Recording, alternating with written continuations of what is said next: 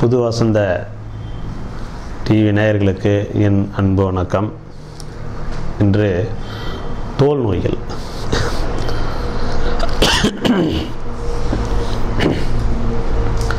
இன்று நாம் இன்று நாம் தோல் நோய்களை பற்றி பார்ப்போம். தோல் நோய் அப்படின்னு சொன்னீங்கன்னா கரப்பான் என்று சொல்லக்கூடிய ஒரு நோய் எக்ஸிமா. அதுக்கப்புறம் பார்த்தீங்கன்னாக்க காலாஞ்சகைப்படை என்று சொல்லுகின்ற சோரியாசிஸ் போன்ற பல வகையான நோய்கள் உண்டு. ஆனாலும் தோல் நோய் ஏன் வருகிறது? எவ்வாறு வருகிறது?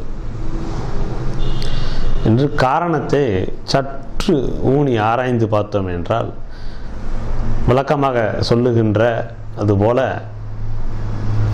வழக்கமாக சொல்லுகின்றது போல மலச்சிக்கல் தான் இதுக்கு அடிப்படையான காரணமாக அமைகிறது. நாம் மலச்சிக்கலை பற்றி தனியாக பேசியிருக்கின்றோம். அதை நீங்கள் கேட்காதவங்க அதை கொஞ்சம் கேட்டுக்கிடுங்க. கேட்டுக்கிட்டிங்கன்னா உங்களுக்கு இந்த இடத்துல சொல்கிறது விளங்கும். மலத்தை நாம் அடக்குகின்ற பொழுது அந்த காற்று மேலே ஏறும். அந்த காற்று தோளின் வழியாகத்தான் வெளியேறுகிறது. அதனால தான் ரோமங்கள் எல்லாம் சிலுத்துறது இந்த முடிகள் எல்லாம் நமக்கு என்ன பண்ணுறது சிலுத்துக்குது அப்போ அந்த நேரத்தில் வரக்கூடிய வியர்வை சற்று வாடை உடைய வியர்வையாக தான் இருக்கும். அப்போது இந்த மாதிரி ஒரு முறை ஏற்றி விட்டுட்டோம்னா அதுக்கப்புறம் தானாகவே அது ஏறிக்கும். நீங்கள் வந்து அதுக்கப்புறம் அடக்கணுங்கிற அவசியம் இல்லை. உங்களுக்கு எப்போல்லாம் வந்து மலம் கழிக்க வேண்டும் என்ற உணர்வு ஏற்படுதோ அப்போ நீங்கள் போகலை நிறுத்துறீங்க அப்படின்னா உடனே ஆட்டோமேட்டிக்காக அந்த வாய்வு மேலே ஏறி தோல் பகுதி அது வர ஆரம்பிச்சிடும் அப்படி தோல் பகுதியாக வர ஆரம்பிக்கும் போது என்னாகும்?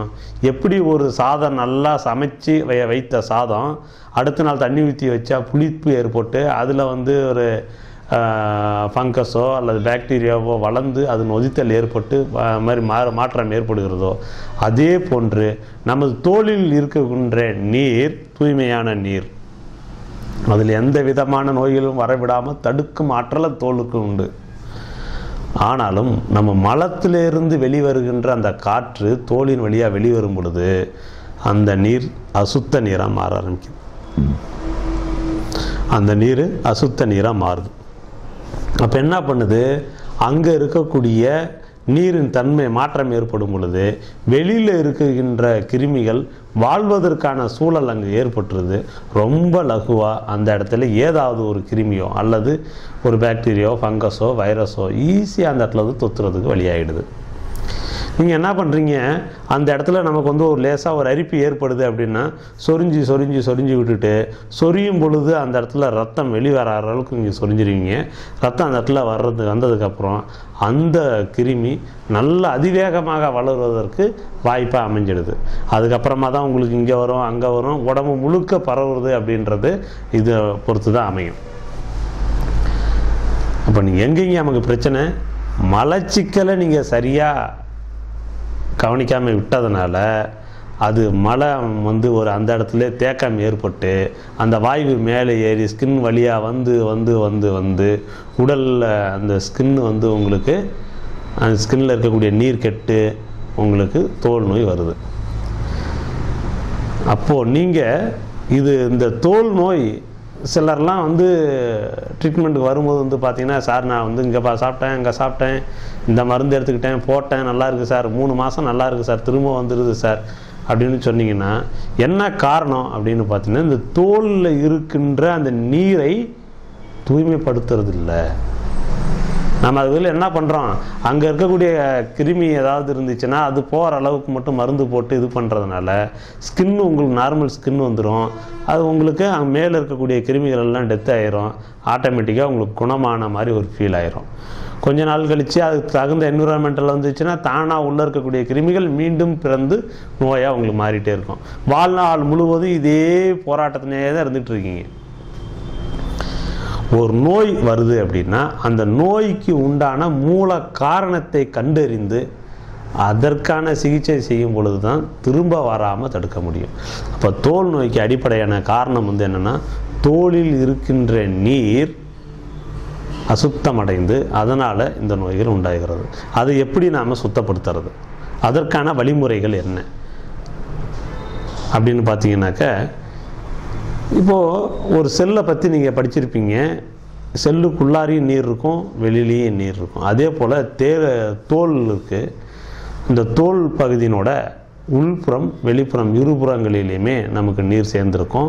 அது எந்த இடங்களில் கிருமிகள் தாக்கம் ஏற்பட்டிருக்கிறது என்று கண்டறிந்து அதற்கான வெளிப்பிரயோகமான மருந்துகளையும் உள்ள கொடுத்து உள் பிரயோகத்திற்கான மருந்துகளையும் கொடுத்து அது பூரணமாக நம்ம குணப்படுத்த முடியும். பொதுவாக மிகப்பெரிய அளவில் இன்னைக்கு வருகின்ற நோய்கள் வந்து பார்த்திங்கனாக்க சோரியாசிஸ் அப்படிங்கிற நோய் இந்த காலாஞ்சகைப்படை அப்படின்ற நோய் வந்து இன்னைக்கு ரொம்ப அளவுக்கு அதிகமாக வந்துகிட்ருக்கு யாரை பார்த்தாலும் இன்றைக்கி வந்து ஸ்கின்னுன்னா பெரும் வாரியான நோய்கள் காலாஞ்சகப்படையாக தான் இருக்குது இது ரொம்ப ஒன்றும் பெரிதான நோய் அல்ல. இதை நம்ம குணப்படுத்துவதற்கு நம்மளால் முடியும். இது குணப்படுத்துவதற்கு நம்மளால் முடியும். எதனால் இதை வந்து குணப்படுத்த முடியறதில்ல அப்படின்னு பார்த்தீங்கன்னா ஏற்கனவே நான் சொன்னது போல் நீங்கள் வெளியில் இருக்கக்கூடிய அந்த பூ வெளியில் இருக்கக்கூடிய ஒரு புண்ணோ ஒரு அரிப்போ ஒரு இதோ அந்த ஒரு தோலை மட்டும்தான் நீங்கள் பார்க்குறீங்க அதுக்கான சிகிச்சை பண்ணால் சரியாக போயிடும் அப்படின்னு நினைக்கிறீங்க. அப்படிலாம் இல்லை. தோலுக்கும் அந்த ரத்தம் தான் சப்ளை பண்ணுது. ஹார்ட்டுக்கும் அதே ரத்தம் தான். எலும்புக்கும் அதே ரத்தம் தான். உடலில் இருக்கக்கூடிய ரத்தம் ஒன்றே அனைத்து உறுப்புகளுக்கும் உங்களுக்கு பரவ செய்கிறது. அப்போ நீங்கள் எதை முதல்ல சுத்தப்படுத்தணும்? ஒரு நோய் ஏற்பட்டுச்சுன்னா அந்த நோயை பற்றின அனைத்து கிருமிகளாக இருக்கட்டும் எதுவாக இருக்கட்டும் ரத்தத்தில் அதனோட கழிவுகள் இருக்கத்தானே செய்யும். முதல்ல ரத்தத்தை சுத்தமாக்கணும். ரத்தத்தை சுத்தப்படுத்தியதற்கு பிறகு நீங்கள் தோலுக்கான மருத்துவத்தை நீங்கள் எடுத்துக்கிற பொழுது அதிவேகமாக குணமடையும். எல்லாவற்றிலையும் விட மலச்சிக்கல் இல்லாமல் பார்த்துக்கொள்ளுங்கள் ஆரோக்கிய வாழ்வாக நீங்கள் வாழலாம்.